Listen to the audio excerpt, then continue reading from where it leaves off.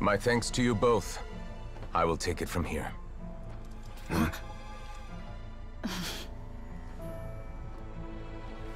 Sure you don't need a hand? Quite sure. Wow. So, what's your secret, huh? Uh, let me guess. Nah, who knows?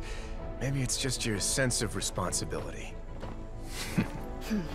Sounds about right.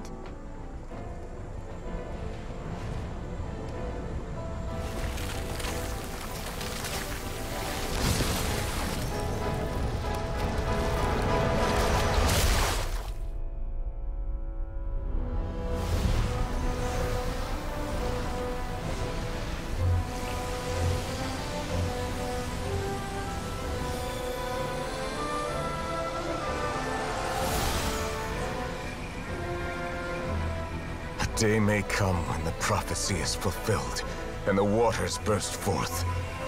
But it is not this day!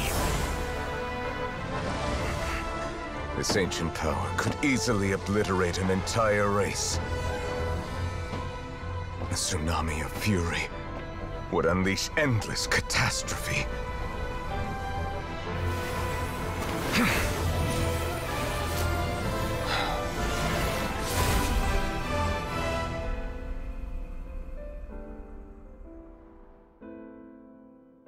This sentence is too severe. Forgive me for overruling it.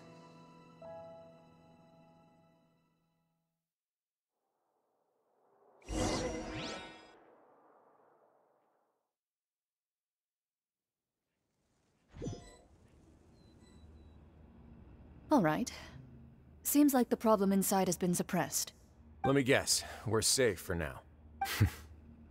Indeed. But only for now. I win this bet. You owe me a present. Very well. It was indeed just as you said. You made a bet? We made a bet on the size of your entourage. Clorinde thought you wouldn't come down by yourself.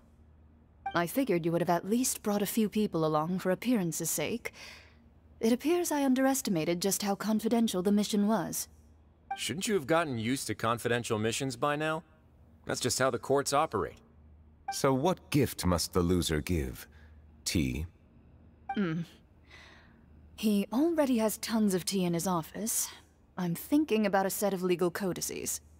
That wouldn't happen to be a dig at my lack of legal awareness, would it? Well, I'm sure His Grace doesn't consider the fortress to be outside the law. I was under the impression the residents of a place like this would be uninterested in the legal codices. That was obviously a joke. Uh, anyway, you've still got some unfinished business to attend to in the overworld, correct? No need to stay here if you have a pressing matter. We all know you can't leave Palais Mermonia for long. Thank you. I hope everything went smoothly with the Fatui Harbinger.